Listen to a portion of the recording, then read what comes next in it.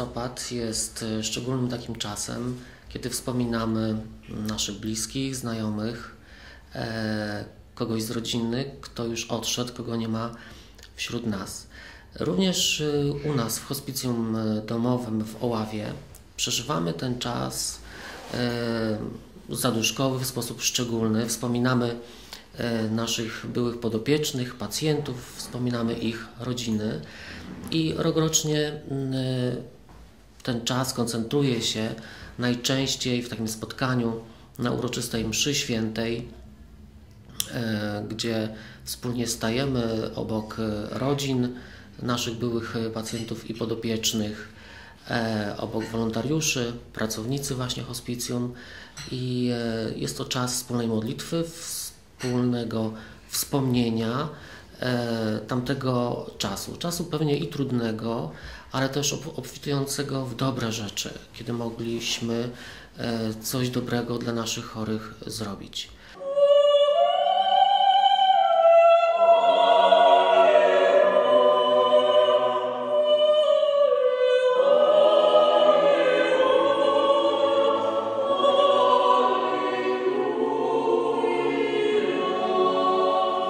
Pomyśleliśmy sobie, że w tym roku byłoby dobrą rzeczą, gdyby do, gdyby do mm, tego spotkania dołożyć jeszcze um, ciekawe spotkanie. Spotkanie z rodzinami, z opiekunami chorych, z którymi współpracowaliśmy kiedyś.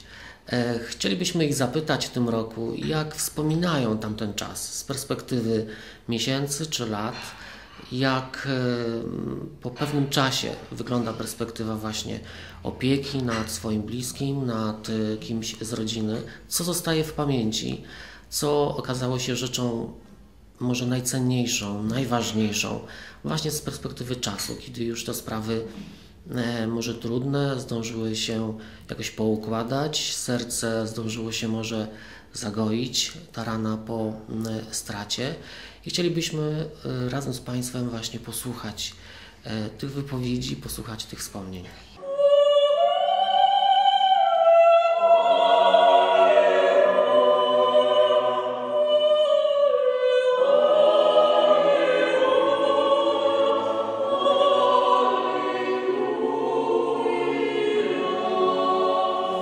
Moje nazwisko Helena Żelem. Jestem żoną męża, który odszedł 22 grudnia 2011 roku. Bardzo ciężko chory człowiek, tylko poszedł na emeryturę. Zaczęła się choroba, obturacyjna niewydolność płuc. Przeszedł prawie sześć śpiączek, bo ostatnia też była śpiączka farmakologiczna. Człowiek, y, gdzie arytmia serca, miażdżyca, cukrzyca posterydowa. Dziś, kiedy patrzę z perspektywy czasu, to był człowiek wielkiej pokory. Tak ciężko chory nigdy nie narzekał. Widziałam, że jest źle. Pytam się, jak się czujesz? Nie wiem, ale chyba dobrze. Nigdy nie powiedział, że źle. Teraz dopiero mówię, gdybym tak mogła czas cofnąć. Dziękuję za niego. Nie zdajemy sobie sprawy. My nie jesteśmy bezludną wyspą.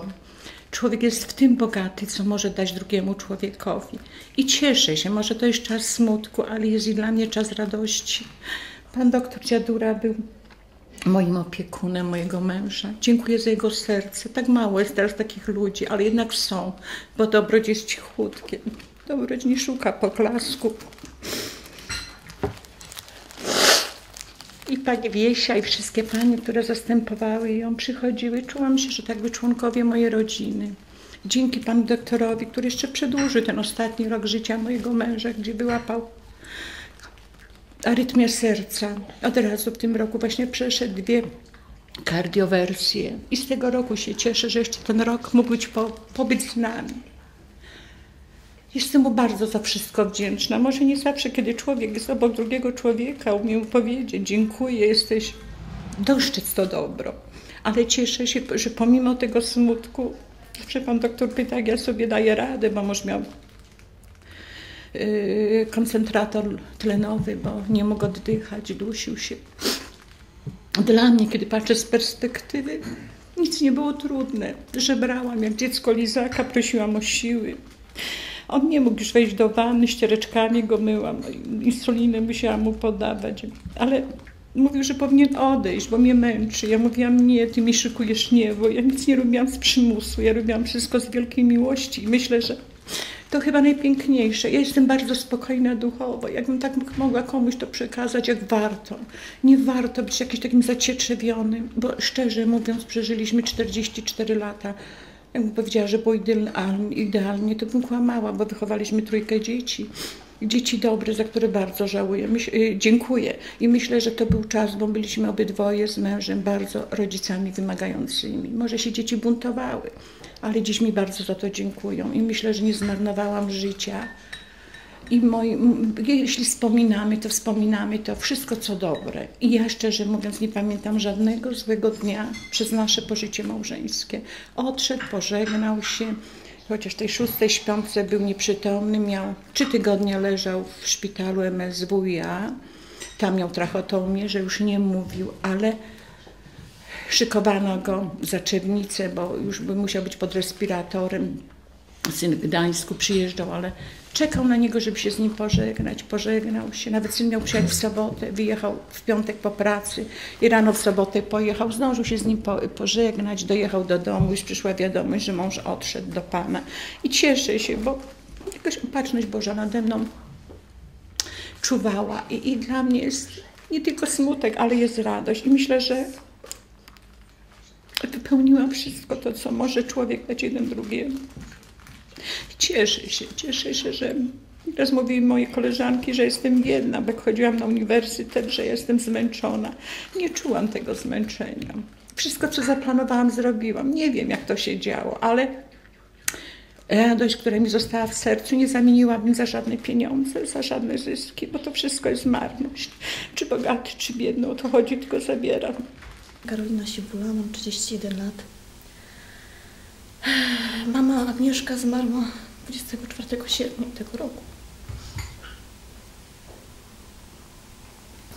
Także to dopiero trzeci miesiąc jest. Bardzo mi jej brakuje. Spędzałyśmy tyle czasu ze sobą, że po prostu Choroba ma prawie 3 lata. Nigdy się nie pogodziła z chorobą. I ona i my właściwie.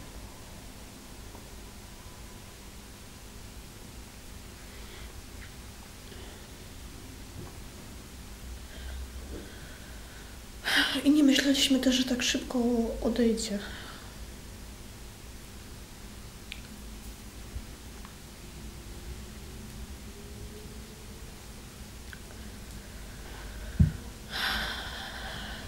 Co jest w tym wszystkim najtrudniejsze? Świadomość nieuchronności, ból yy, od bliskiej osoby. Co jest najboleśniejsze?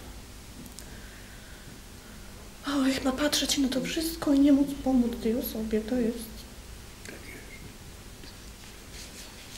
Człowiek chciałby zrobić wszystko, a nie może. Może tylko być z tą osobą, trzymać ją za rękę, a nie może jej tak naprawdę pomóc w bólu, w cierpieniu. Także nie wyobrażam sobie właśnie bez hospicjum tego domowego, to nie wiem, co by było.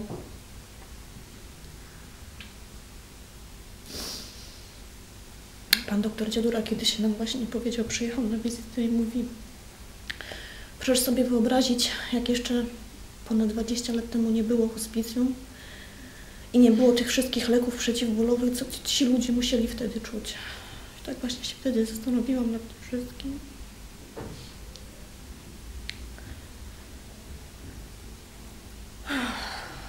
Przepraszam. A nas mogła w domu? Nie. Przez pięć tygodni właściwie, cztery tygodnie ponad była w domu. Później była w szpitalu. I też y, trzy dni, trzy dni, ostatnie trzy dni leżała na tym oddziale opiekuńczo-leczniczym właśnie szpi przy szpitalu, w hospicjum. I tam zmarła. ale byliśmy z nim do ostatnich chwil. Była taką ciepłą osobą, życzliwą, zawsze wszystkim pomogła. Tak, walczyła do końca. Chciała żyć, to, to jest Właśnie ta osoba, która się nie godziła z tym, co się dzieje. Miała dla kogo, bo ma dwie córki, ma dwóch wnuków, męża. Właśnie ta ich chęć życia i ta chęć walki z tą chorobą była u niej do samego końca. Ona się naprawdę do końca nie podawała, poddawała jeszcze tak, starała się w domu wykonywać jakieś drobne prace. No, starała się robić wszystko, żeby, żeby z tą, żeby, nie wiem, w jakimś jej mniemaniu czasami myśleć, że, że praktycznie nie jest chora, że to tylko tak przejściowo. Naprawdę była tego typu osobą. Mocną, bardzo ciepłą i bardzo dobrym człowiekiem. Trzymała w garści cały dom. Całą rodzinę, Tak, tak. I wnuki, i córki, i męża. Taka była zarządzająca zawsze. No To jest najgorsze. no i to właśnie było takie przykre, że w którymś Mhm. momencie ja wiedziałam, że to i ona też już wiedziała, prawda, że to już jest końcówka. Są to takie przykre momenty dla nas właśnie, jak pacjent no naprawdę chce żyć całym sobą. Tak, to jest najtrudniejszy pacjent. Najtrudniejszy pacjent to jest taki, który, który nigdy się z tym nie godzi, do samego końca chce żyć. Tak była pani Wójtka. Ja pamiętam, ja byłam dwa razy na wizycie właśnie, że tak bardzo, bardzo nawet nie chciała słyszeć o tym, że coś jest źle. Tak? Nawet jak bolało, to chciała zwiększyć leki, ale nigdy nie chciała, e, nie przyjmowała do wiadomości, że coś się z tym wiąże, że coś za tym stoi. Kiedyś pamiętam, bo pani Basia się opiekowała właśnie mamą. I bo ja chyba nie wiedziałabym, jak, jak, się, jak się zachować.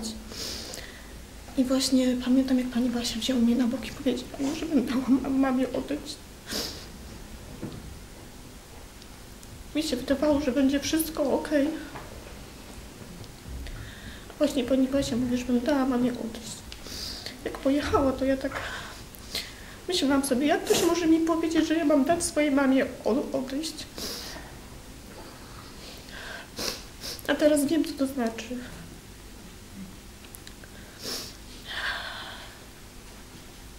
Że było jej na pewno lżej. Każdy moment jest nieodpowiedni, mi się tak, tak wydaje, chociaż ja czasami jeszcze zadaję sobie pytanie, że czemu mama tak młodo odeszła, bo miała aż 60 lat mogła jeszcze żyć i tak mówię właśnie do siebie, że jakby miała 80 lat, to może łatwiej by mi się było pogodzić z tym. I ze śmiercią matki to chyba nigdy się człowiek nie Ale teraz wiem właśnie. Tak, czyli miała 80 Tak, to by było- czy... Murta to miał Faktycznie. 59 lat, jak zmarł, zmarł na nowotwora trzustki. Były to takie czasy, że cierpiał niesamowicie. I też byłam z nim do samego końca. I wiem, jak to boli po prostu. To są, to są najgorsze momenty w naszych życiach. Minęło tyle lat, bo to był 97 rok, a ja do dziś płaczę. Także to nie mija. Nazywam się Zygmunt Hanuszewicz. Przeżyłem żoną. Gdyby żyła, to w tym roku w 55 lat w kwietniu byłaby. Zmarła 8 marca tego roku. Dzień.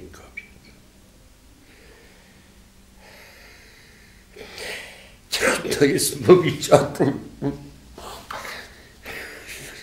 Tyle lat przeżyć. Choćbym zawsze wytrwały, wytrzymały. Ale teraz się załamało.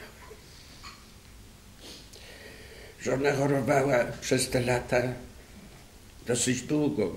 Ostatnie lata już były coraz gorsze. W sumie w okresie swego życia była około chyba 40 razy w różnych szpitalach, na różnych oddziałach. Przeszła wiele zabiegów operacyjnych, dwa guzy wycięto na macicy, na natyrczach. Na płucach nie wycięto, bo by powiedzieli, że nie przeżyje tego, ale guz ustąpił. Ona dalej żyła, a doktor zmarł, który miał to wszystko zrobić. Dużo rzeczy mógłbym powiedzieć, ale już później, jak zaczęła tu chorować coraz bardziej obłożnie, bardzo dużo zawdzięczam właśnie pani doktor Beatce, pani doktor Wiesi, bo to były stałe. Mieliśmy kontakty, tam inne pani z zastępstwie przyjeżdżały, jak pani. Violetta, kochana nawiasem mówiąc, nie tylko przeze mnie. ale to wytnie się. No muszę coś, bo nie mogę mówić. Spokojnie. Także to, no, muszę powiedzieć, że ciężko było w domu, ale dzięki pomocy pani doktor nawet częściej bywała, jak plan, planie było, żeby odwiedzić żonę. Zawsze byliśmy w kontakcie, jak zadzwoniłem, że coś potrzebuje, to przyjechała. Pani Wiesia też to prawie codziennie była, czy wtedy, kiedy te, należało to patronki zmienić. Zresztą same widziały, jak to się wszystko działo. Kto przy tym był, co robił. Starałem się jak mogłem, ale później było coraz gorzej, coraz ciężej. Udało mi się załatwić tu w hospicjum, w tym zakładzie opieki leczniczej koło hospicjum przy szpitalu z panią kierowniczką Tereską załatwiłem to, to jak zadzwoniłem, bo pani doktor nawiasem dzwoniła do mnie się pytać, jak się żona czuje. Ja mówię, że załatwiłem żonę. A pani doktor mówi, co pan żartujesz, żart, pan żartownik, jak pan to zrobił? Ja mówię, pocałowałem rączkę panią kierowniczki i załatwione zostało, nie? Pani, pani Krystyna też była ciężkim pacjentem. Też właśnie Niestety. bardzo, bardzo wymagającym, wiele objawów bardzo różnych nakładających się. Tak właśnie do samego końca już mówić nie mogła, ale jeszcze pisała kartki, rządziła do samego końca. No w życiu, jak to bywa w życiu, jest się raz nawozem, raz pod wozem, ale trudno teraz samemu jest. Nie ma z kim się pokłócić, nie ma z nikim pogadać, nie ma kogo się spytać, jaki placek upiec, bo część zostało w testamencie po niej, co za, zdążyłem zanotować. Pani doktor, panie tu niektóre próbowały, co potrafię zrobić. Tylko schabowych nie próbowała, też potrafię. Co jeszcze? A jak pan żonę? Bardzo dobrze. Nawet dzieci mi teraz wypominały, może, ale to proszę wyciąć, bo usłyszę, że za dużo ją słuchałem i wszystko wykonywałem, co życzyła sobie. Nazywam się Wanda Sturlis. Y, Jestem żoną, byłą żoną Tadeusza Sturlis, który odszedł y, w 6 czerwca 2012 roku y, na nieuleczalną chorobę. Y, Po otrzymaniu wyroku przez męża? O nieuleczalnej chorobie? Y, spełniłam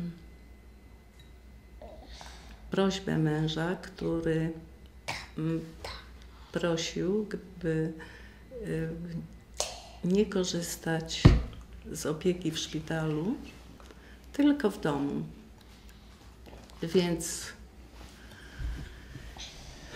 podjęłam ten trud i uznałam, że w tym przypadku stanę na wysokości zadania i spełnię tą prośbę męża.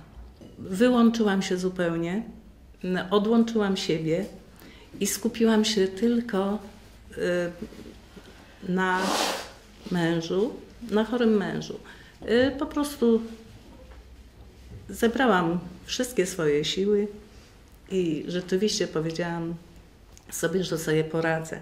Trudne to było, ciężkie to było, ponieważ y, sen był dla mnie tylko przeznaczony po nieraz dwie, trzy godziny w nocy, więc to było bardzo trudne, ale jest to do y, wykonania, jeśli chce się pomóc drugiemu.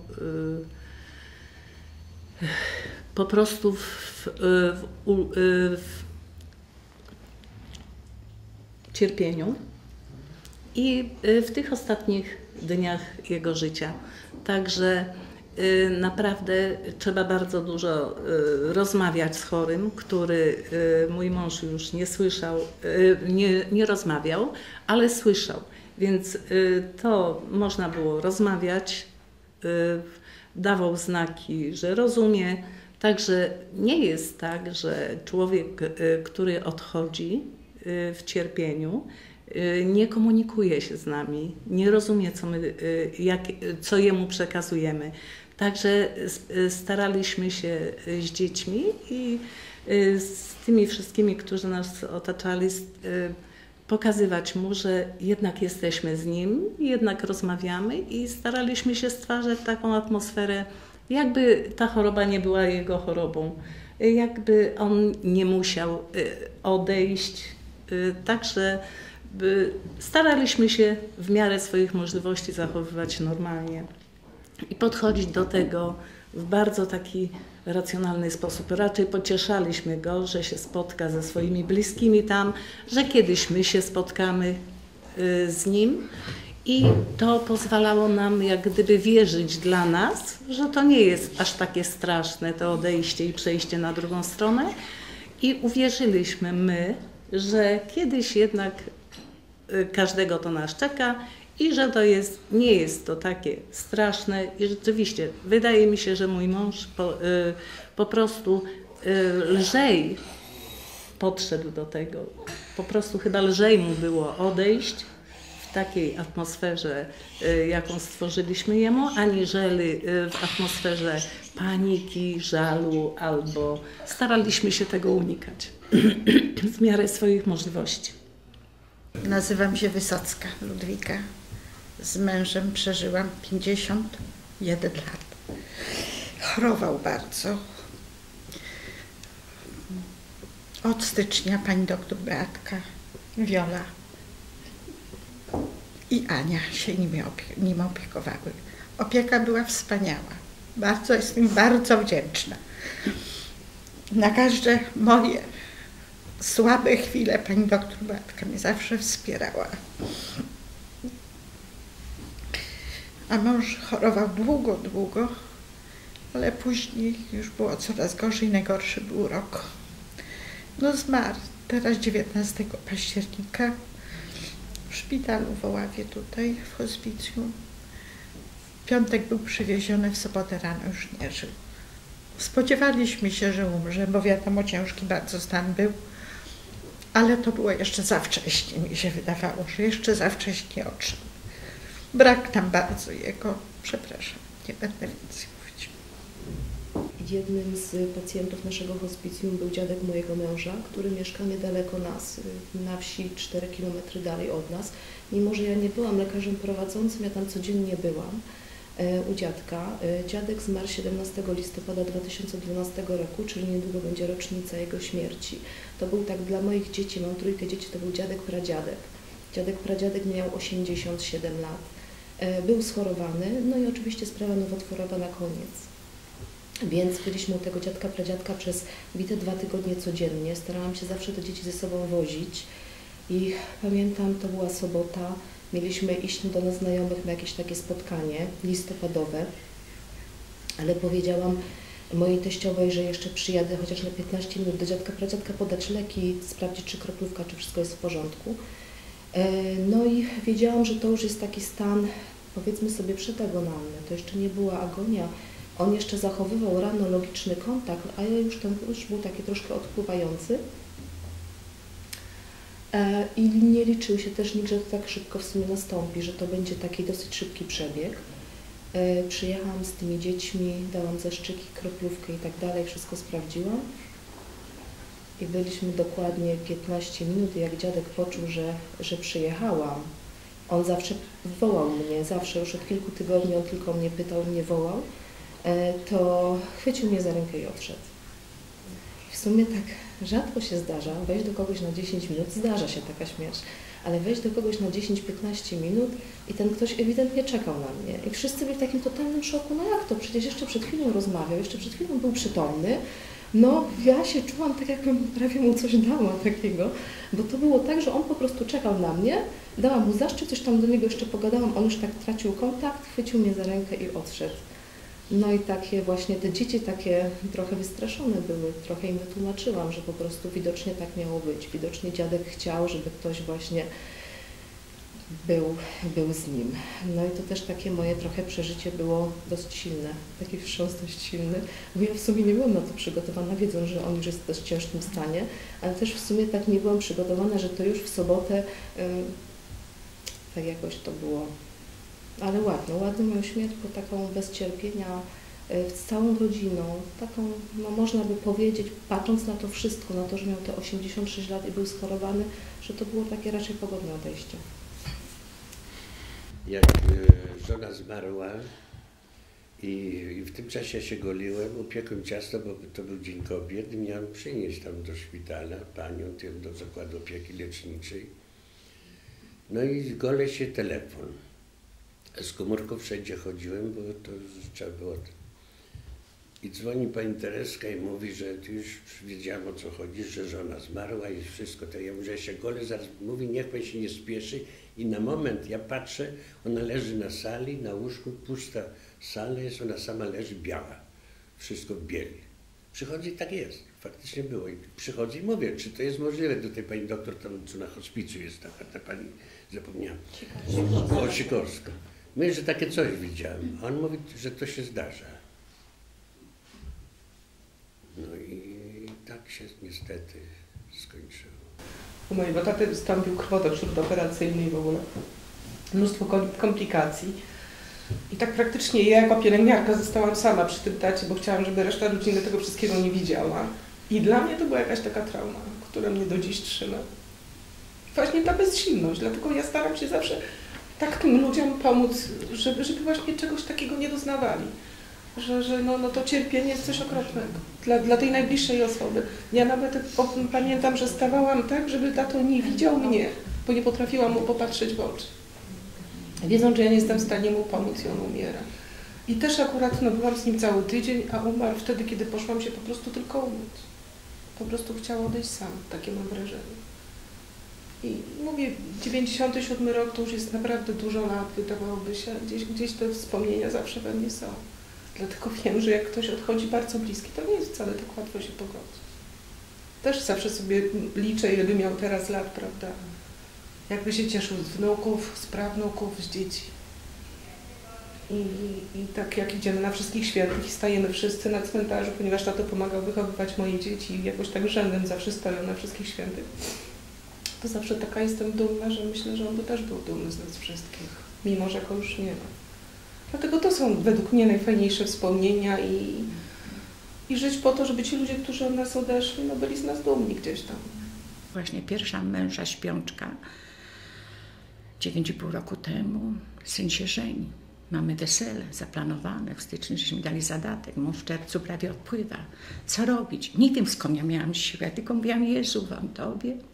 I Twoje ręce wszystko oddaję. Po prostu wszystko oddałam. Byłam bardzo słaba. Jeszcze wszystkie telefony, które przychodziły do domu, to ze mnie bardzo ściągały. Syn chciał zrezygnować z wesela, to było na Podlasiu. Ja mówię, synu, nawet gdyby ojciec odszedł, musimy poczekać, wesele musi się odbyć. Nie wiem, nie umiem na te pytania odpowiedzieć. Po czterech latach małżeństwa przychodzi wnuczek właśnie tego syna na świat. No, mąż odpływa znowuż. Mąż mówi, że cieszył się bardzo, bo mówił, że moje życie zabierane, a nam niebo dało właśnie tego Mateuszka, gdzie w, przy pozostałych szpitalach to musiało być zawsze jego zdjęcie tego wnuczka na biurku. To już lekarze wiedzieli, zawsze pozdrawiali jego wnuczka. To już później przyszedł na świat ten, to mówi pani doktor, ja już mam dwóch. Ale y, proszę mi wierzyć, no pan doktor był często. Mój mąż miał tak wielką pokorę pod 8,5 roku tej choroby. Ja nie wiem, czy niebo go tak przygotowało. To był człowiek, który mi zostawił. Nie umiem tego słowami ująć. I proszę wierzyć, że jego już nie będzie rok, a ja tak czuję obecność jego. Ja nie czuję, że jestem sama. Ja czuję nawet do tego stopnia, że zapach perfum, że się w nocy budzę. Nie wiem skąd te perfumy, ale to nie są perfumy, które ja korzystam. Jakby nam chciał podziękować za wszystko.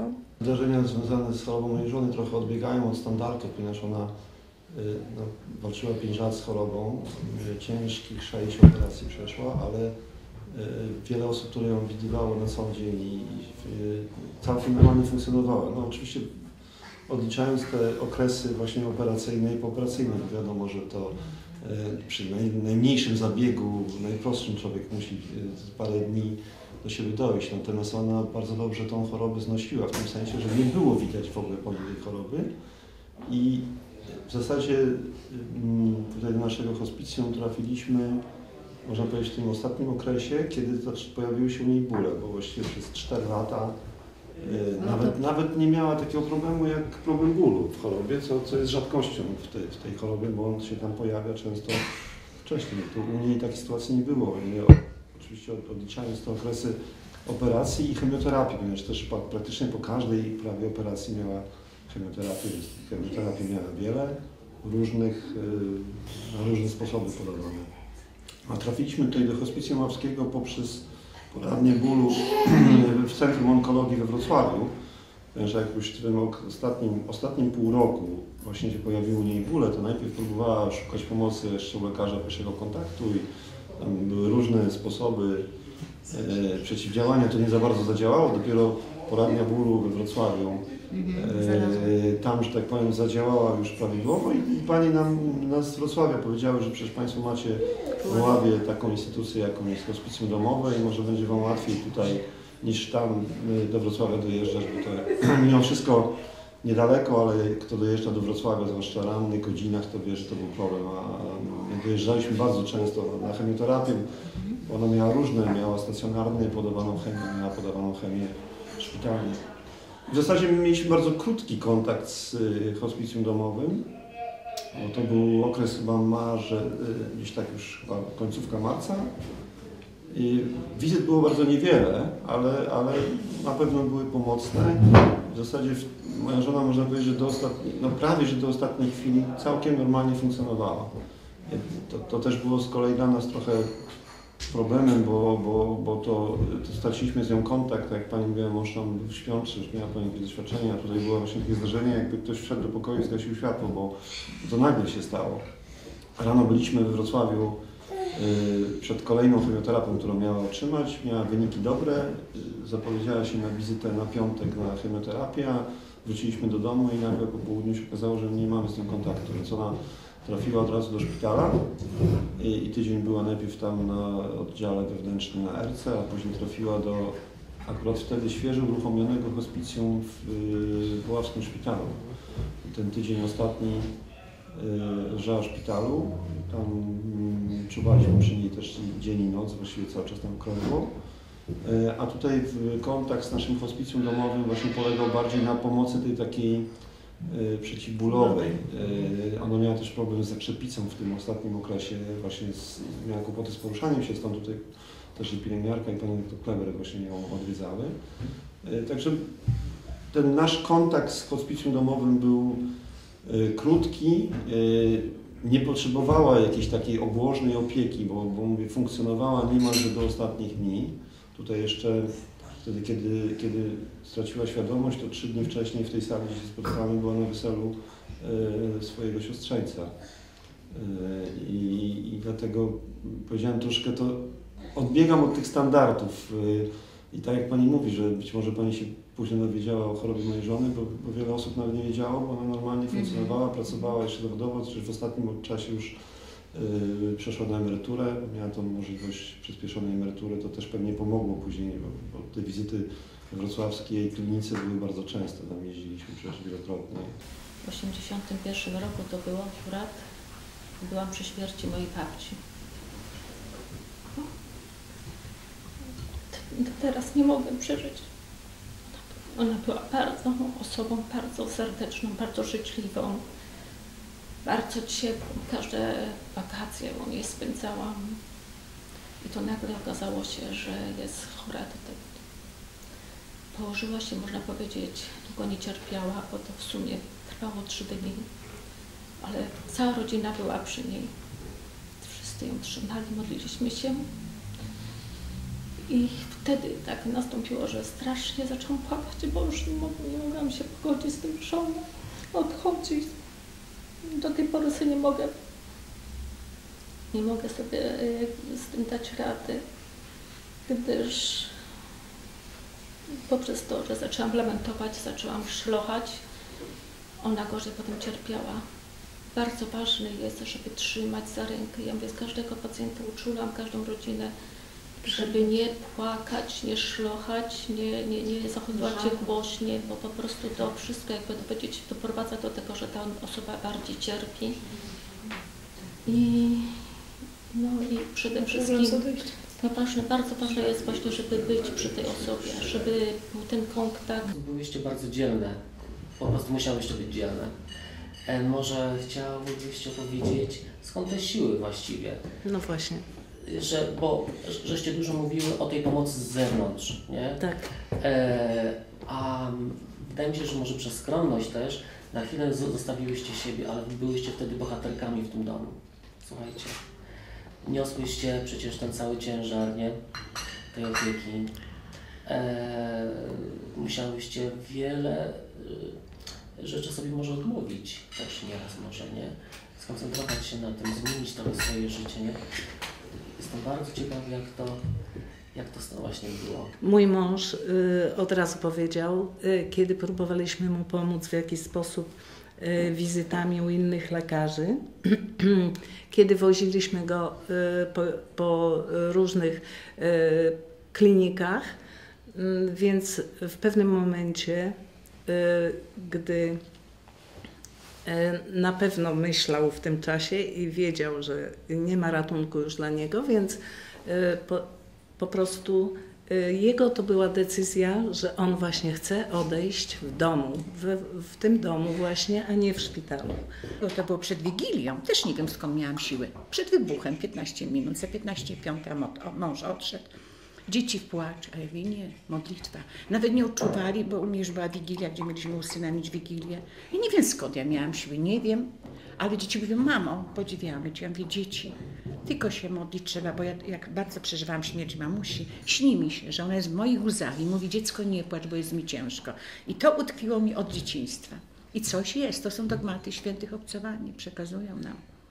I ja myślę, warto naszym dzieciom przekazywać. I ten malutki był malutki, jak dziadziu odszedł. Ale pamięta, idzie na cmentarz, zdjęcie dziadzia, dziadziu. Dziadziu nie. No chyba to jest najfajniejsze, co możemy dać naszym bliskim. A nasze życie, kto powiedział, że ma być łatwe? Nikt nam nie zapewni. A jak jesteśmy sami, bez wsparcia tego, to jesteśmy słabi. Żebyśmy jacy mocni byli w słowach, ale życie jest samo życie. Człowiek sam jest bardzo słaby. Siła przychodzi z góry. I jeśli my mamy tą siłę, a to jest łaska, żeby o mieć, trzeba nią dbać. Jak kwiatek, nie podlejemy, uschnie. Ale proszę wierzyć, wstaję czwarta do szóstej, to zaczynam dzień, to co sobie ofiarowałam. I myślę, wypełniłam wszystko. Gregorianki, wieczyste msze. To, co najwięcej jeden drugiemu może dać. I to proszę dzieci, że kiedyś jakby coś się ze mną stało, żeby też o tym pamiętali, bo wszystko jest marnością. Widzę, jak my schodzimy, a później na śmietnik wszystko wywalają, to nic nie ma żadnej wartości. I jeśli żyjemy bez żadnych zasad wartości, życie nasze jest bardzo ubogie. Czy w coś wierzymy, czy nie wierzymy, musi być jakaś zasada w życiu. Mąż bardzo czuł tą moją opiekę. Byłam może nadopiekuńcza nad mężem. Bo na każdego, jak to się mówi, kiwnię- kiwnięcie palca, ja byłam koło niego. Nikogo nie tolerował. Nieraz rodzina pomagała, ale tylko byłam ja. Najważniejsza w tym momencie. Zawsze dla niego. I zawsze mi dziękował za to, że jestem przy nim. Zresztą pani Ania to dobrze wie, bo za nią też rozmawiał.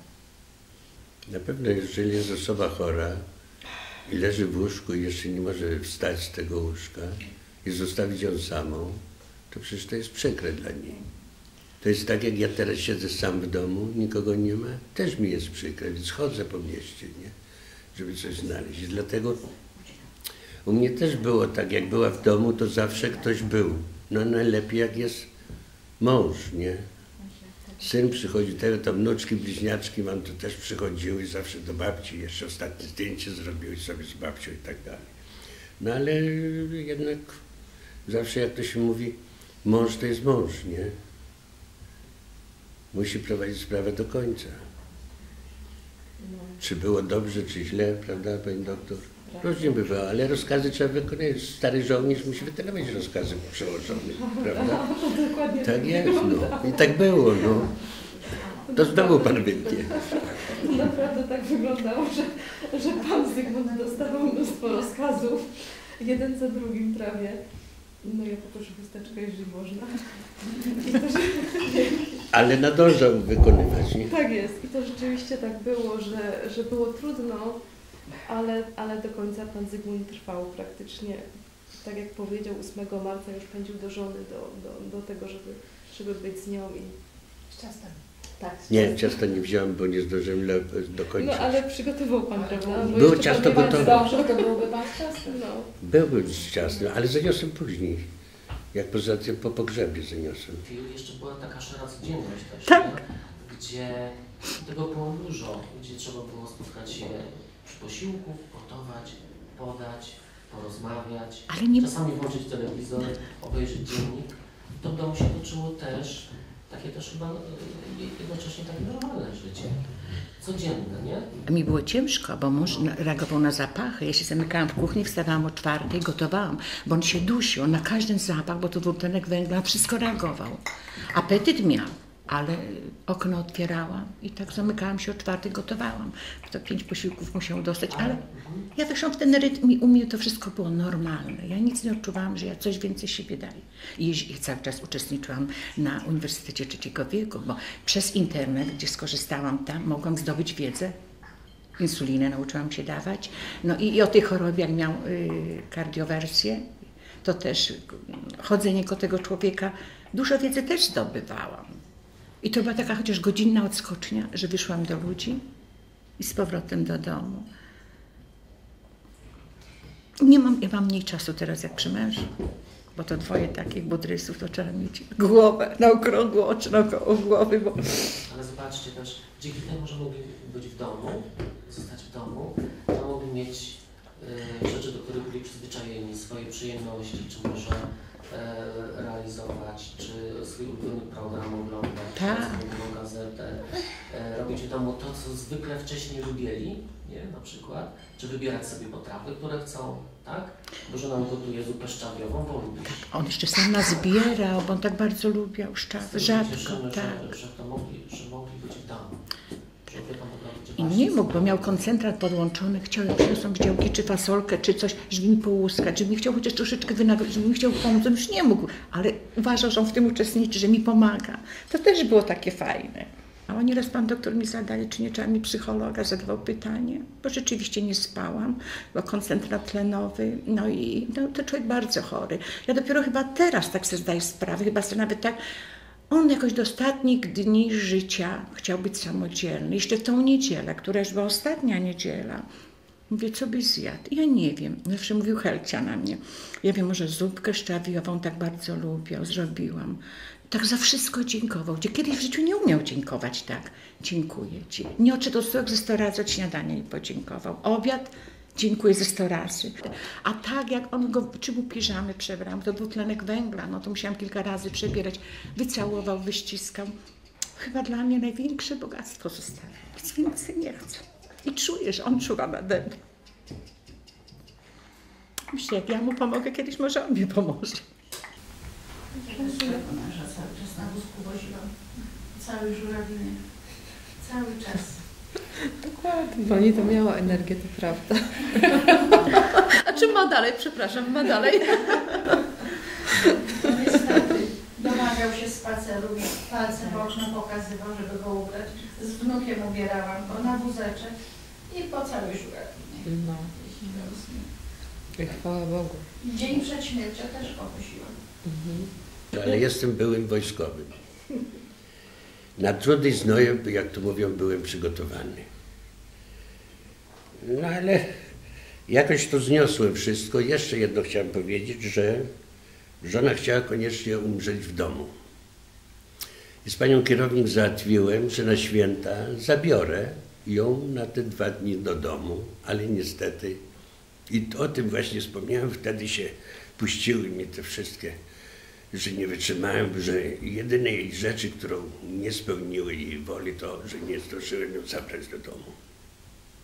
Kilkanaście lat miałam, jak mamusia zmarła, tatuś 30 lat.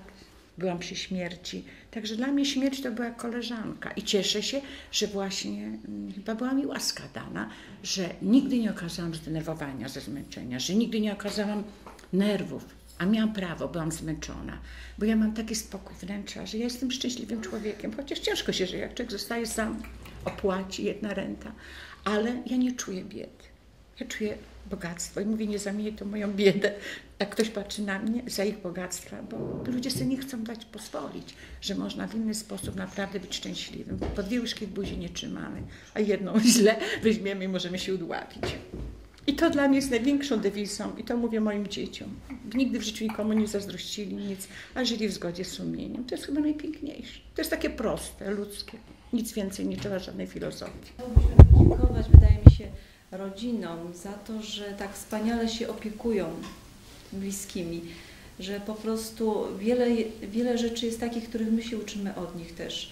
I to, że bardzo często widząc, y, jak y, dłuższy czas trwa cierpienie czy opieka, widząc, że rodzina jest zmęczona, same czasami proponujemy, że na przykład, że jest możliwość, y, żeby na przykład na oddział hospicyjny do szpitala oddać bardzo rzadko się zdarza, chyba że faktycznie już jest tak ciężko, że rodziny się decydują, ale wtedy też czuwają praktycznie do samego końca. Naprawdę i y, podziwiamy ich za to, że, bo my tam jesteśmy tylko przez chwilę, kilka razy w tygodniu, czy w zależności od potrzeby, a oni są tam cały czas, są całą dobę, są w dzień i w nocy czuwają. To jest naprawdę bardzo duże, bardzo duże poświęcenie dla, dla, e, dla tej osoby bliskiej i bardzo duża pomoc też dla nas. Kiedy patrzę się wstecz, też mam swoje wspomnienia. One są inne trochę, bo tu bardziej z boku jest, ale muszę, muszę powiedzieć, że z pacjentami, z którymi dłużej byłem, z którymi e, opieka była po prostu dłuższa, to w naturalny sposób też się zawiązywały i większe więzi. I ja pamiętam e, twarze, twarze mężów, tak jak tutaj e, panie opowiadały, Y, tą taką skromność i pokorę Pani męża, właśnie taką cichość i zgodę wielką na tą sytuację, to aż tak, aż tak wyróżniało, prawda? I, i, też, I też te wspomnienia, myślę, i moi koledzy, koleżanki z pracy wolontariusze nosimy w sobie i jakoś będziemy nosić. Oby tylko się dobrze uleżało. Oby się dobrze uleżało, żeby, e, żeby mm, też nie było to jakąś przeszkodą. Miałam do pomocy dzieci ale oprócz pomocy dzieci korzystałam y, z opieki paliatywnej.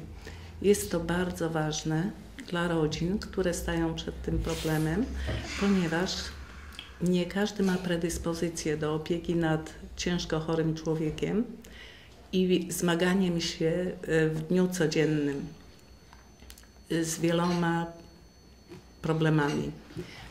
Ta opieka była dla mnie o tyle ważna, ponieważ miałam poczucie bezpieczeństwa, że w każdej trudnej chwili i w każdej niewiadomej chwili mogę zwrócić się do doktora lub do pielęgniarki z opieki paliatywnej.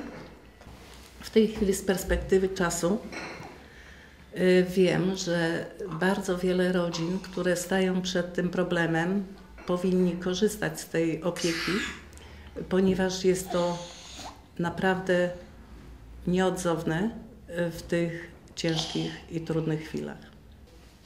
Człowiek nie wie, w jaki sposób uśmierzyć ból choremu, w jaki sposób ulżyć mu w cierpieniu, i w tym przypadku y, opieka, którą sprawuje y, pan doktor y, ze swoimi podopiecznymi, pielęgniarkami, spełnia te wszystkie warunki. Po prostu kieruje, naprowadza, uczy, w jaki sposób podawać leki, w jaki sposób aplikować zastrzyki. Jest to naprawdę nieoceniona y, pomoc. Y, dziękuję serdecznie wszystkim, którzy wspierali y, w tych trudnych chwilach nas i polecam naprawdę opiekę paliatywną wszystkim. którzy znajdują się w takiej sytuacji.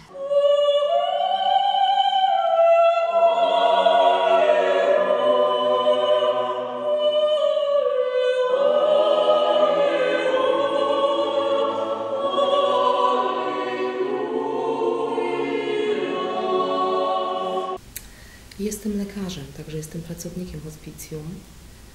Pracuję w hospicjum od czterech bodajże lat i zajmuje to większą część mojego roku, mojego tygodnia, mojej doby. E, z pacjentami mam stały kontakt.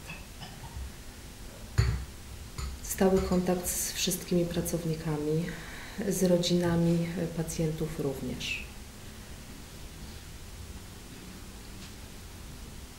Oprócz tego, że jest to moja praca, to jest to praca specyficzna, związana z opieką nad ludźmi, nad pacjentami, którzy są e, często, gęsto w trudnej sytuacji, e, których stan zdrowia jest zwykle dość ciężki. Rodziny też sobie z tym nie zawsze dobrze radzą. W związku z tym staramy się i z tej strony merytorycznej, medycznej, i z tej strony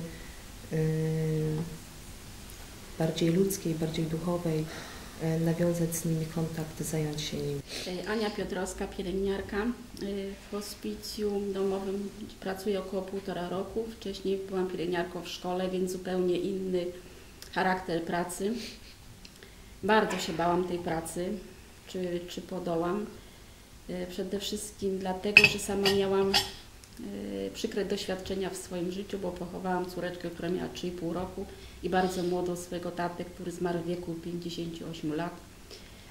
Zresztą był pod opieką właśnie hospicjum domowego, gdzie jestem bardzo wdzięczna, byłam zadowolona. Z hospicjum wiedziałam, że to jest duże wsparcie i duża pomoc, ale bałam się tej pracy bardzo. Stało się tak, że podjęłam tą pracę. Dla mnie to było takie no, duże wyzwanie, że tak powiem. No i przede wszystkim musiałam sobie tak poukładać, że tak powiem, w głowie, poprzestawiać, że idę do tych pacjentów po to, żeby im pomóc, żeby uśmierzyć im, im ból, mm, wesprzeć y, rodziny, przede wszystkim psychicznie, bo znałam jak gdyby tą z, z jednej i z drugiej strony, tak, od, od środka i na zewnątrz, że tak powiem. Y, no i staram się, to, staram się jak najlepiej potrafię, może nie zawsze wychodzi, ale staram się jak najlepiej potrafię y, tą pracę wykonywać. Przede wszystkim właśnie tu chodzi o wsparcie psychiczne, no i uśmierzenie bólu pacjentowi. Ja nazywam się Nowak Barbara, jestem pielęgniarką w hospicjum domowym, y, pracuję od stycznia y, tego roku, czyli niedługo będzie rok. Dla mnie ta praca to jest praktycznie taka trochę moja pasja może to jest i trochę źle powiedziane, ale w jaki sposób człowiek się zżywa z tymi pacjentami i, i z rodzinami pacjentów. I będę płakać.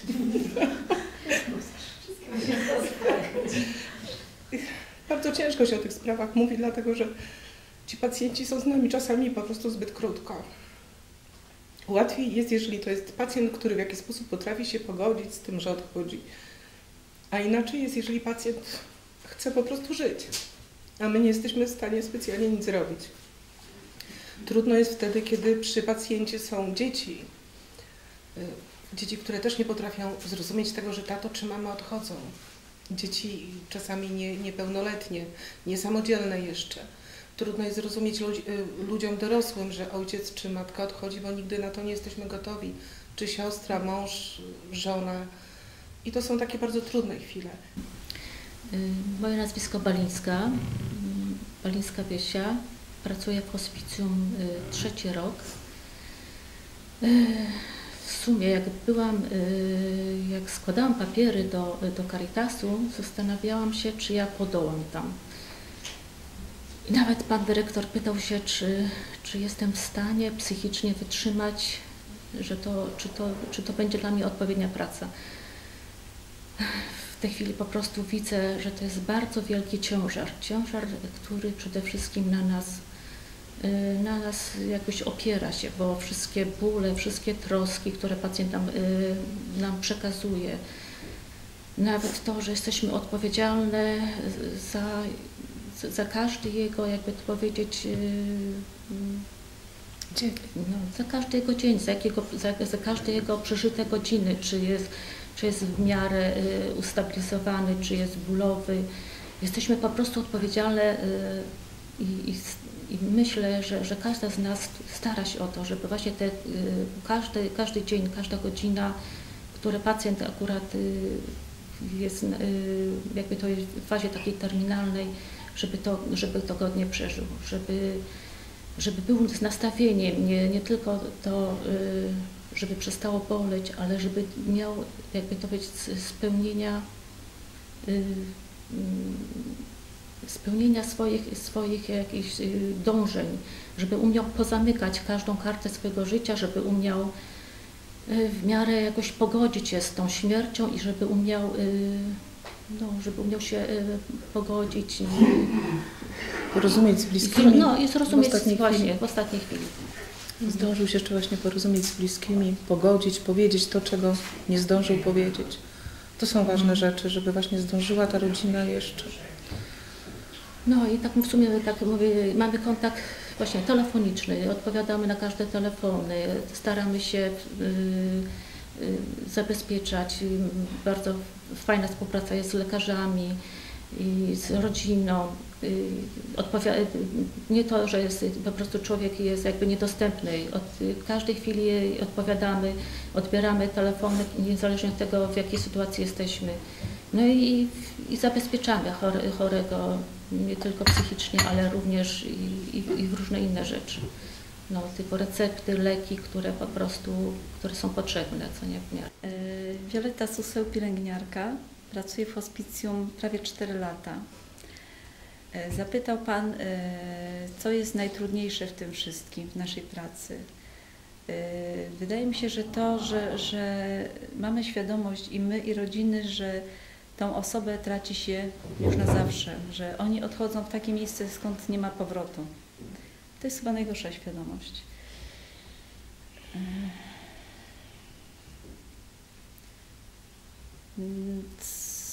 Jak przyszłam, jak, jak, jak, y, znaczy tak jak Wiesia wspomniała, jak przyjmowała się do pracy, rozmawiała z panem dyrektorem. Ja jak przyszłam y, na rozmowę o pracy, akurat trafiłam, na rozmo- rozmawiałam z Adamem Dziadurą. I na wstępie rozpłakałam się, bo powiedziałam do niego, że nie wiem, czy się nadaje do takiej pracy, ponieważ jestem, wydaje mi się, że jestem osobą bardzo, osobą bardzo wrażliwą i czy będę potrafiła pracować, bo, do, bo wcześniejsze moje prace to były y, z ludźmi zdrowymi, młodymi. Pierwszy raz spotkałam się, nie wyobrażałam sobie właśnie, zawsze śmierć przerażała mnie. I, ale Adam właśnie wtedy powiedział, że w naszej pracy właśnie są potrzebne takie osoby wrażliwe. No i się, ja się, to też mam wytniejsze. Że właśnie są potrzebne właśnie takie osoby wrażliwe, osoby, które potrafią zrozumieć, które potrafią być empatyczne, y, zrozumieć y, y, rodzinę właśnie, osoby, które odchodzą.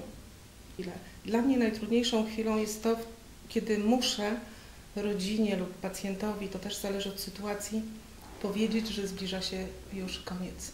Że są to czasami godziny, czasami dzień, dwa, widząc, że pacjent zaczyna źle oddychać, że oddech zaczyna być przerywany, że...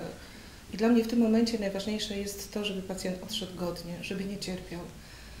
Bo uważam, że cierpienie jest najgorszą rzeczą i, i wtedy myślę, że, że wszyscy skupiamy się przede wszystkim na tym, bo y, zajmujemy się pacjentami w tym takim stadium no, raczej końcowym i nie zawsze wiele można zrobić, ale dla mnie właśnie najważniejsze jest to, żeby człowiek po prostu nie cierpiał bólu, żeby odchodził w spokoju i w takiej miłości, bo jeżeli rodzina się decyduje na to, że takiego pacjenta przy sobie ma do samego końca, to musi to być rodzina naprawdę dojrzała. A mimo wszystko czasami tych ludzi to przerasta i, i, i tu wtedy zaczyna być problem, bo jeżeli się widzi, że mama, tato, siostra, brat, ktokolwiek bliski nam cierpi i nie jesteśmy w stanie z tym nic zrobić, to jest chyba najgorsza rzecz.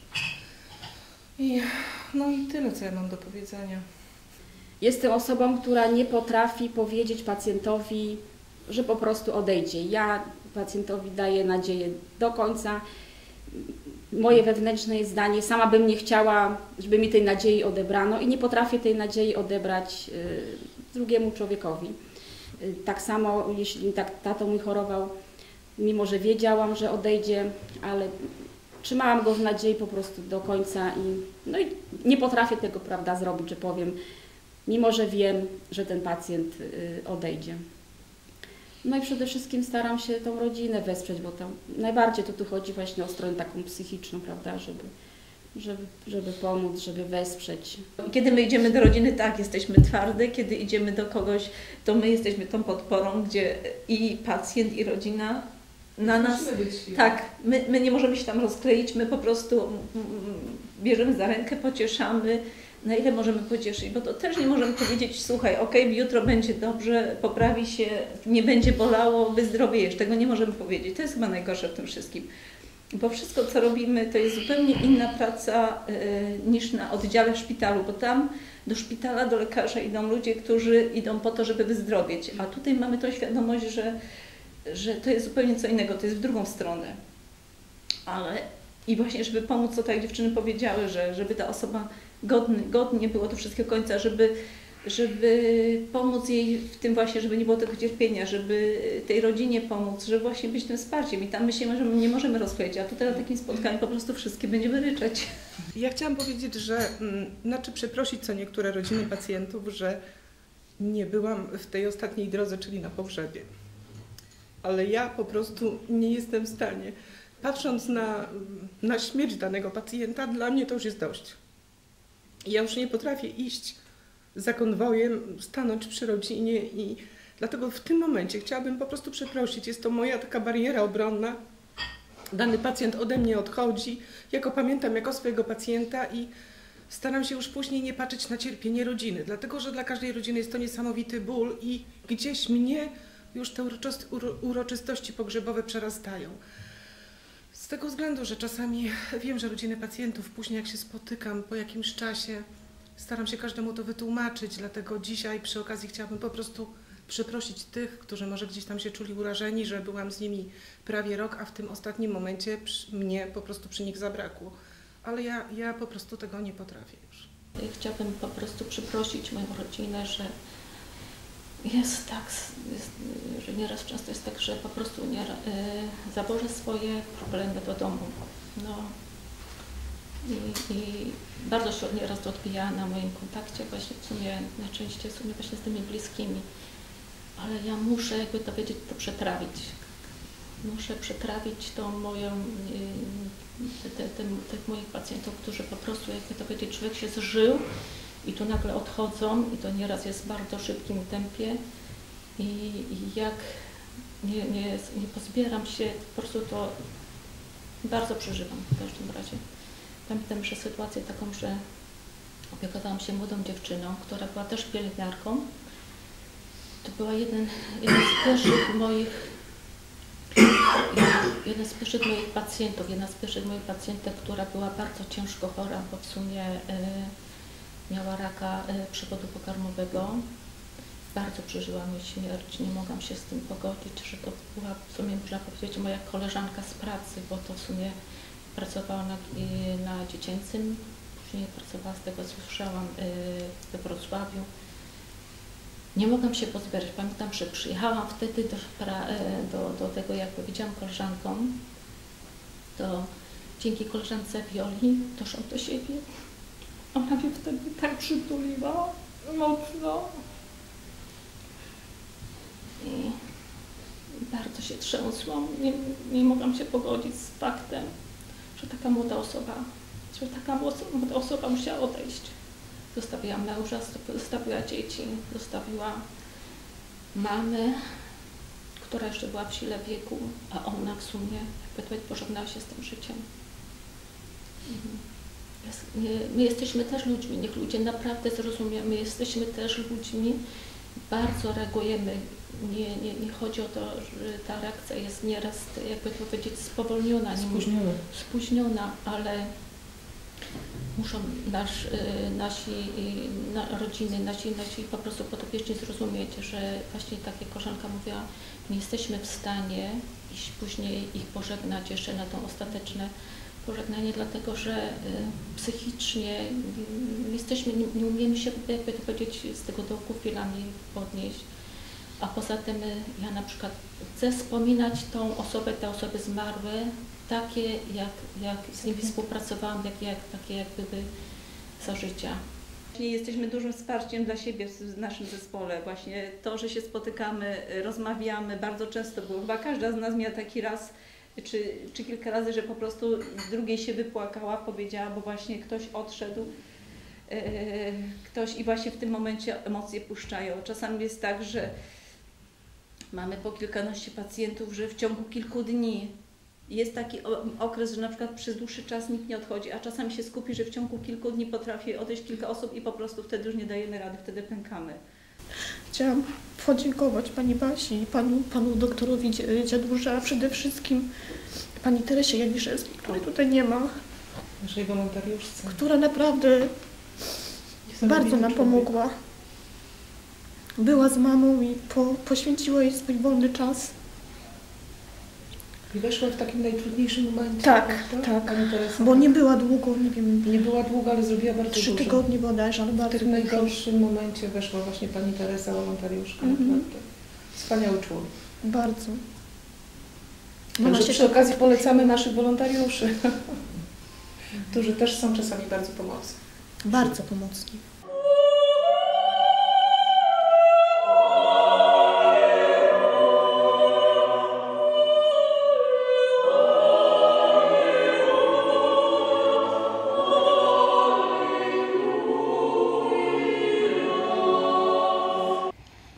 Ja byłam zupełnie normalną kobietą. Pracowałam, wychowywałam dzieci, gotowałam obiady i w pewnym momencie poszłam na emeryturę. I tak się mocno zastanowiłam nad swoją przyszłością, co robię dalej. Całe życie tak gdzieś taki dzwoneczek był, że coś, coś we mnie siedzi, coś takiego i mówiłam, Panie Boże, co to jest? A sytuacja, że tak powiem, wyklarowała się sama. Pracowałam jako wolontariusz na jadłodajni, w jadłodajni oławskiej, gdzie wydawałam posiłki ludziom y, tego potrzebującym. Zresztą cały czas byłam związana z Caritasem przyparafialnym przy mojej parafii. No i tak y, jak powstało y, hospicjum domowe w Caritasie, to sytuacja, że tak powiem, poszła sama. Jestem od początku hospicjum domowego. To już jest czwarty rok i bardzo, bardzo sobie cenię spotkanie z tymi ludźmi, którzy już są po drugiej stronie. Y, Pewnie, pewnie dziwi Państwa i, i czekacie na moją, powiedzmy, jakąś taką y, wypowiedź. Powiem tak, że to jest mój najpiękniejszy okres w życiu. Słuchałam Panie z wielkim szacunkiem z wielkim uznaniem, bo ja byłam ciągle po tej drugiej stronie. Te rozmowy z pacjentami, spotykanie ich to jest niesamowita rzecz. Ci ludzie mieli dużo rzeczy do powiedzenia, nie swoim rodzinom, bo widzieli, jak te rodziny cierpią, co przechodzą. I czasem oni też są normalni ludzie, słuchajcie. Są tacy sami, tylko tyle, że są chorzy. Moje spotkania były czasem zaskakujące i fantastyczne. No ja chciałabym powiedzieć o moim pierwszym spotkaniu hospicyjnym, które przeżywałam trzy dni, bo jechałam z pielęgniarką i, i w sumie mówiłam, Boże, jak ja tam wejdę, co tam będzie. Muszę tutaj powiedzieć, że jesteśmy doskonale przygotowani, my jesteśmy przeszkoleni i wiemy, co powinniśmy mówić, ale spotkanie z pacjentem to jest całkiem inna sprawa. I pamiętam, wtedy pojechałam do, na wieś i przywiozła mnie pielęgniarka i wchodzę do tego domu i mówię sobie, Panie Boże, ja daję Ci tylko ręce, a Ty rób dalej. I to było doskonałe. Weszłam, a w, na ganku siedziała, były y, ym, kotki małe i matka, która tym kotkom pie- pielęgnowała te koty. I weszłam z tą myślą o tych kotach. Leżała ciężko chora kobieta, a ja podeszłam do niej, wzięłam ją za rękę i mówię, Pani kochana, no takie te kotki piękne są tam na tym ganku. A ona do mnie mówi, proszę Panią, naprawdę już są młode kotki? Ona o tym nie, oczywiście nie wiedziała. Jeszcze rodzina była zajęta chorobą, zajęta y, przygotowaniem, nie myślała o tym, że się kotki są małe. Proszę Państwa, myśmy ten dzień, gdzie tam pielęgniarka robiła swoje czynności, że tak powiem, wykonywała, myśmy rozmawiały o kotach, o kwiatach, o wszystkim. I najsmutniejsze jest w tym wszystkim to, że tej pani na drugi dzień już nie było. Tak się spotkało, skończyło moje pierwsze spotkanie. Każdy następny pacjent to był egzamin, tak dla mnie, jak i dla y, ludzi, z którymi współpracuję. My jesteśmy w takich trójkach, jest lekarz, jest pielęgniarka, jest wolontariusz. Oczywiście, jeśli rodzina sobie życzy wolontariusza. I ja się spotkałam zawsze z dobrym przyjęciem. Zawsze byłam y, dobrze widziana i muszę powiedzieć jedno, że dla nas wolontariuszy to jest wielkie, wielkie wyzwanie. Y, wchodzimy do rodziny, jesteśmy częścią rodziny i trzeba się umieć znaleźć w tej rodzinie. Pacjent y, wymaga czasem, że tak powiem, tylko słuchania, ale też służymy pomocą fizyczną, to znaczy robimy zakupy, często gęsto czytamy książki. Nie powiem, ja miałam podopiecznego, z którym grałam w karty. No, nauczył mnie grać, ale do czasu, kiedy przegrał, to już później nie chciał ze mną grać, no ale to jest inna strona medalu. Ale z wielkim szacunkiem, chociaż muszę powiedzieć, wiecie Państwo, są naprawdę, nie chciałabym mówić o tych y, takich ciężkich chwilach, bo to są naprawdę wspaniali ludzie, zostawili nam piękne wspomnienia. Łącznie z tym, że moje, moja rodzina też uczestniczy w tym moim wolontariacie chociażby przez to, że y, ja swoim podopiecznym zostawiam swój numer telefonu, bo czasem coś potrzebam i, i często miałam takie przypadki, że w nocy pacjent do mnie dzwoni z pytaniem, dlaczego ja do niego dzwonię. Ja mówię, to niestety, ale pan do mnie dzwoni. On mówi, nie, nie, pani do mnie dzwoni. no, ale wiecie Państwo, to było bardzo miłe i bardzo się cieszyłam, że właśnie do mnie zadzwonił i muszę Państwu powiedzieć, że jakoś tak to mile wspominam. Ja się bardzo cieszę z współpracy z lekarzami i z pielęgniarkami, ponieważ y, to oni, że tak powiem, znajdują nam te rodziny, które y, potrzebują, że tak powiem, wsparcia kogoś z zewnątrz, ponieważ rodzina jest bardzo dobra, jest fantastyczna, ale w niektórych momentach potrzebuje kogoś z zewnątrz, żeby po prostu wprowadził normalny świat. Normalny świat to jest, proszę Państwa, coś takiego, że ja często mówię swoim podpiecznym, my zostaniemy we, dwój, we dwoje czy w dwójkę, tam jak wy to jest pan czy pani, a może damy luz trochę żonie czy, czy dzieciom. Oni na to czekają. Oni na to czekają, żeby ta rodzina, która jest tak zaabsorbowana chorobą, tym powiedzmy zaangażowaniem, żeby po prostu zobaczyła, że na zewnątrz jest normalne życie.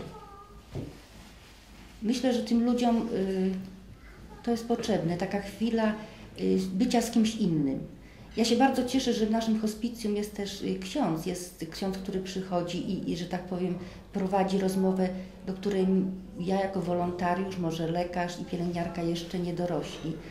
Ja czasami mam takich podopiecznych, z którymi na przykład nie znajduję kontaktu takiego, przychodzę kilkakrotnie i, i to jest tylko takie wejście, wypicie herbatki, posiedzenie i sobie myślę, o czym tutaj którym miejscu. A czasem jest proste rozwiązanie.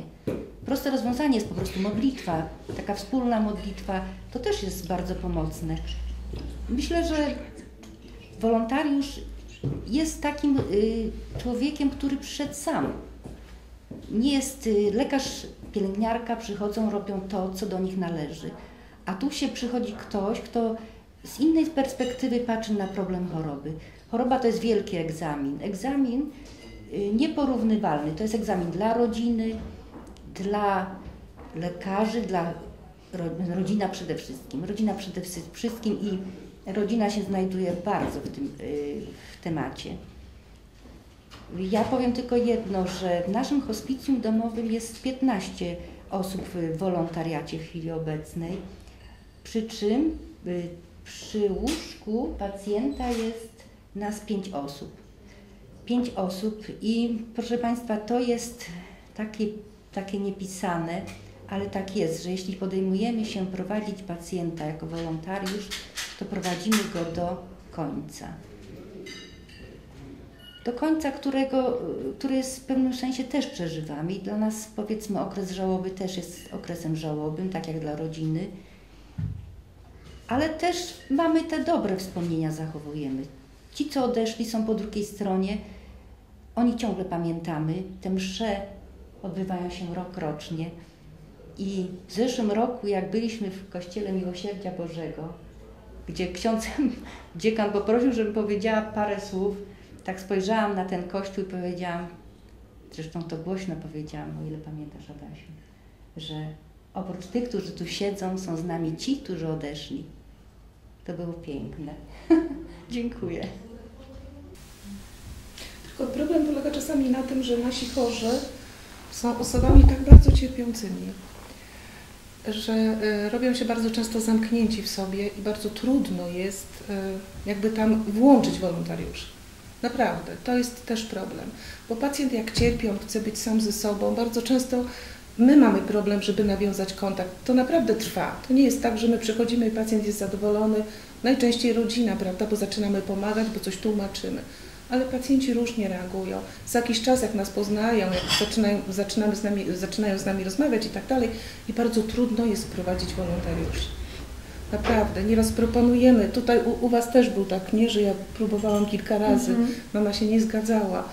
Aż w końcu już tak jakoś dość ostro, że Pani Teresa przyszła i, i tak. I, i, no i po prostu już została, po swojemu zarządziła i tak dalej. I ja wiedziałam, że to jest właśnie ta osoba, która jest w tym momencie potrzebna, bo dzieci, właśnie tutaj Karolina była już zmęczona, widać było, każdy starał się tej mamie pomóc, no, no, ale to wiadomo, że w którymś momencie ta rodzina się robi już niewydolna i ten pacjent też się wtedy źle czuje, bo on widzi tą, tą jakby ten wysiłek rodziny ponad siły i, i, jest to przeze mnie, prawda? Jest to gdzieś jakiś wyrzut sumienia. Stąd czasami są też te moje słowa, pozwól odejść, tak. nie pokazuj, daj sobie odpocząć, niech ktoś inny Cię zmieni, bo to nie tędy droga, prawda? Bo, bo to się nie da tak całe życie i, i cały czas, bo ta rodzina, ta, ta, osoba, która jest chora też ma wyrzuty sumienia. No, ci ludzie są świadomi, to nie jest tak, że my mamy nieprzytomnych ludzi, prawda? Tylko są w pełnej świadomości. Dlatego ja tak przy okazji apelu, apeluję, żeby no, tych wolontariuszy, tych ludzi takich z zewnątrz trochę właśnie wpuszczać, tak jak mówi Pani Teresa, wpuszczać trochę tego świata do siebie.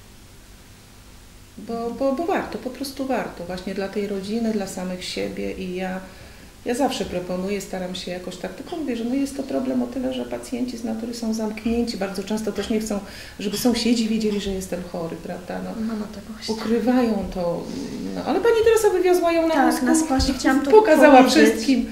Więc mówię, no są to osoby, które, które no, no, no, no tak czasami reagują, mają też do tego prawo, prawda? Była jedyną osobą, której udało się właśnie mamę namówić na spacer, bo ani mi, ani mojemu ojcu nie udało się. Tak, ona poszła, wzięła wózek, przywiozła Tak, i to, to było rano, a pamiętam, pani Teresa poszła do domu po południu. Mama sama powiedziała, że nawet wstała wtedy i powiedziała, że chce iść na spacer. Tak. Cały wieczór wtedy żeśmy spacerowali. No mówię, dała się przekonać, że no, cały świat nie będzie się tylko na nią patrzył. A tak jak pani Agnieszka, ona była osobą taką bardzo elegancką, ona zawsze miała paznokcie wymalowane, no tak było, ona zawsze była taka do, do, dopieszczona, że tak powiem, no i w tym domu też tak wszystko zawsze miała poukładane, porobione i no, no i taką była osobą, że nie chciała, żeby ją ktoś oglądał taką mniej zadbaną, że tak, tak powiem, tak. prawda, że, że... Ale później po tym spacerze to już nawet powiedziała do nas, że jak się będzie ktoś pytał, to żeby powiedzieć, co jej jest, że jest chora i na co jest chora. Także już tak facet był fantastycznym wolontariuszem.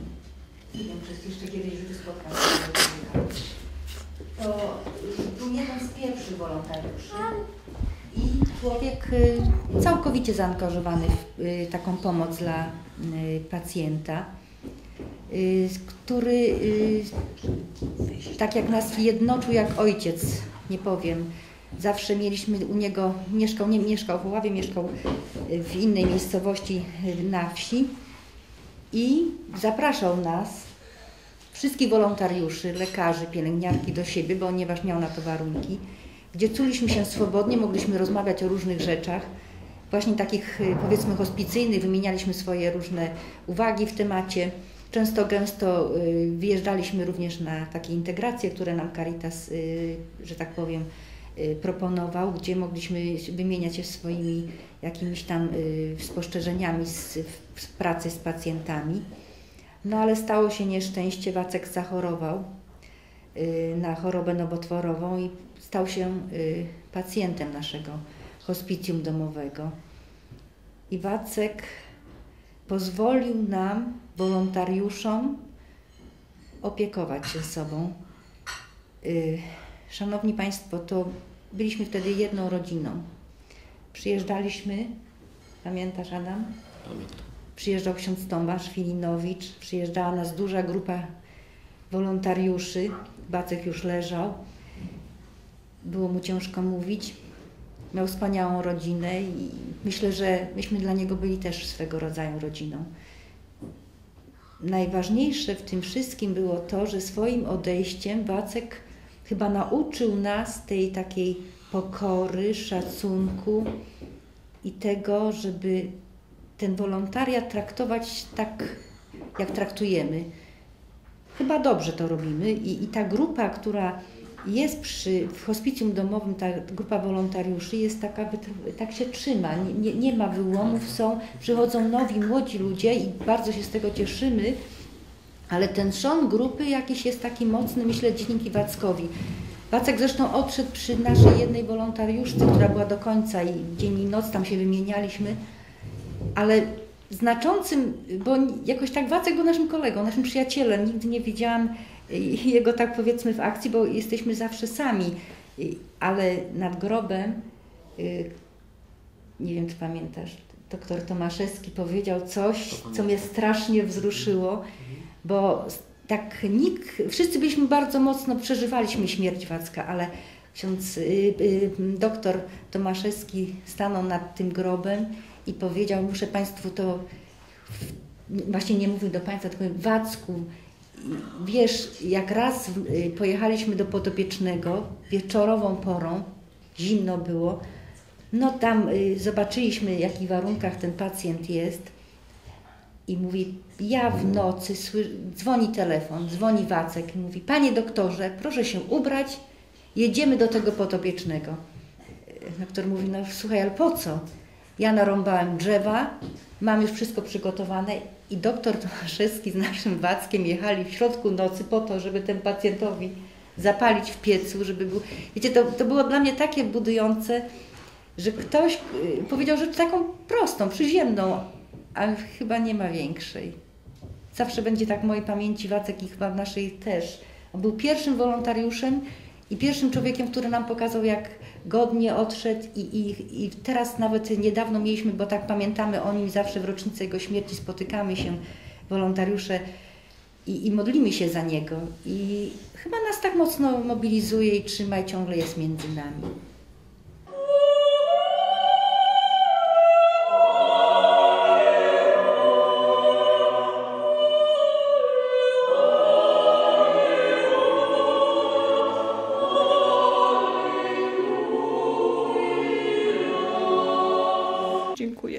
Szczególnie właśnie za to hospicjum, za to hospicjum, bo naprawdę zdajemy sobie sprawę, nikt nie chce tam, gdzie trzeba coś siebie dać, poświęcać się, ale warto się poświęcać, bo ja myślę, chociażby nikt nie widział, to widzi ten, co nad nami i nagroda stokrotna przychodzi.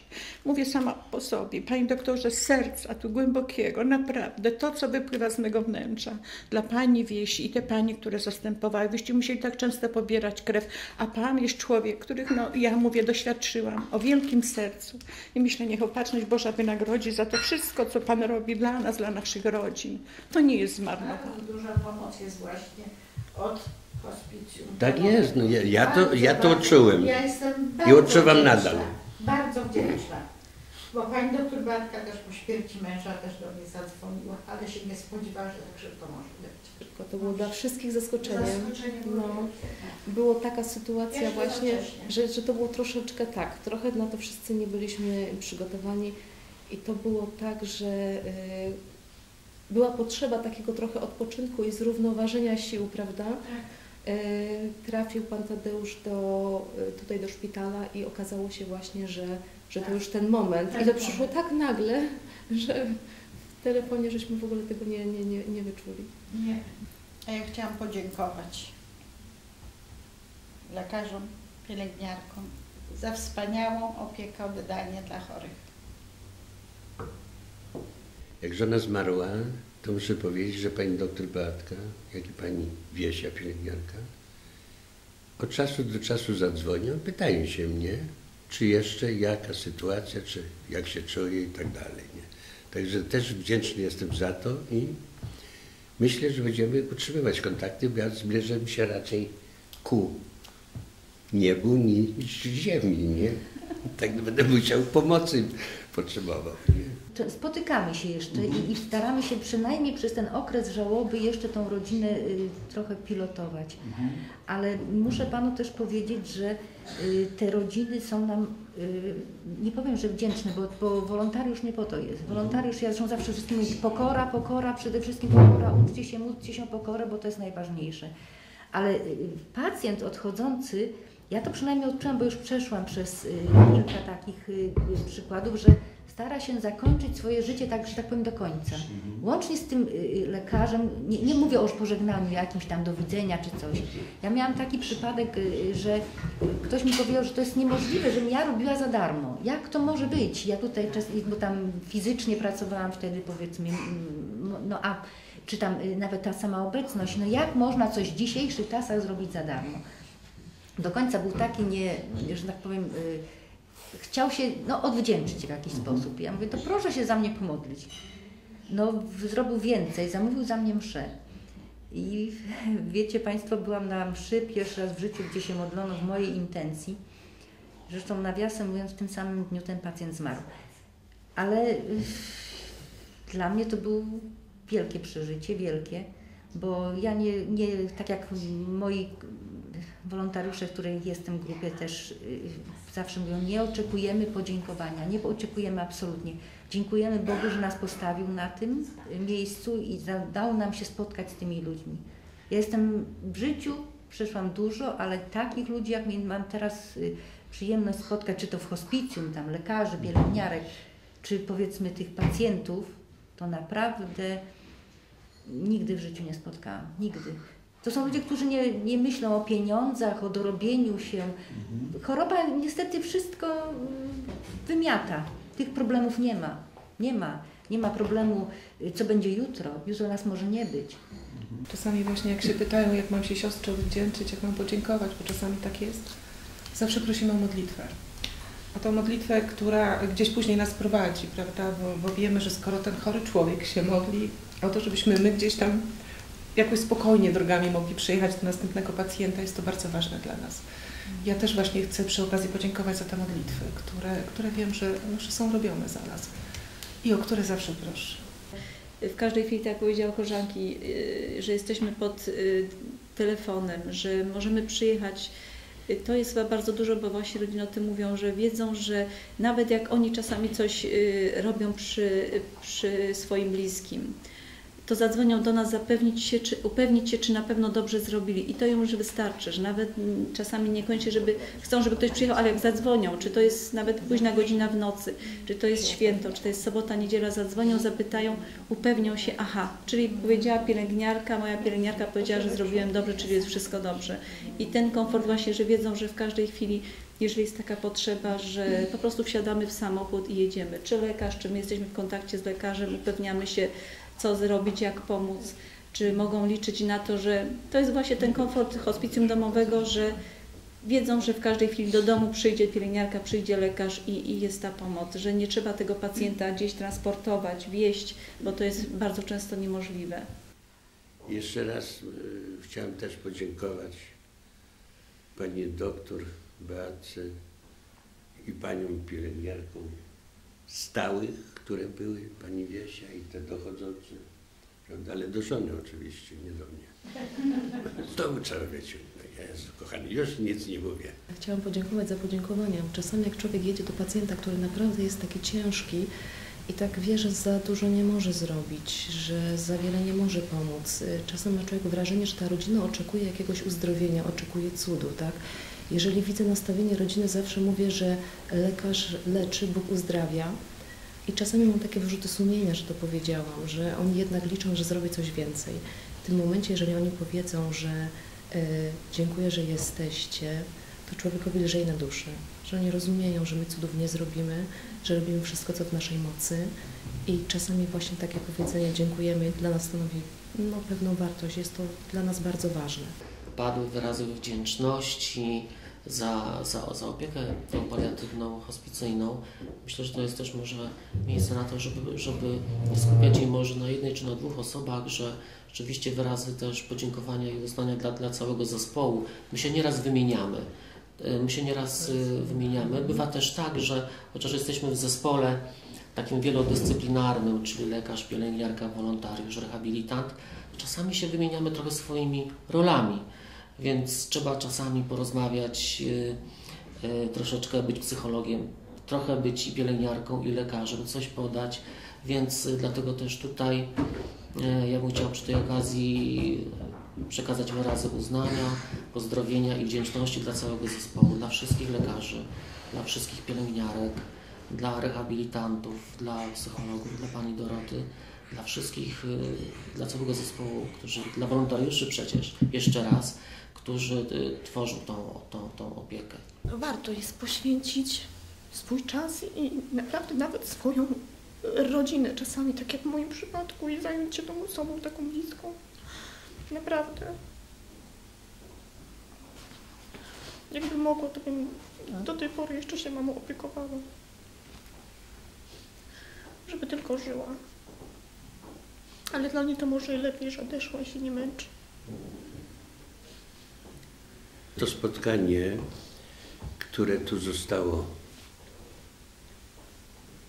jak to Na którym jest na którym, o, właśnie braku, no, na którym jesteśmy, y, ja uważam, że na- to dobrze tak wspólnie usiąść, jak to się mówi, porozmawiać o tych sprawach, co było, jak to było, co przeżyliśmy, co przeżywamy dalej. Wszystko jest potrzebne. Na takie spotkanie też uważam, jest potrzebne. Takie ukojenie. Tak jest. No ale mówią, że trzeba żyć dalej. I chodzić na cmentarz i rozmawiać. I pytać o radę. Już przepisów nie da żadnych.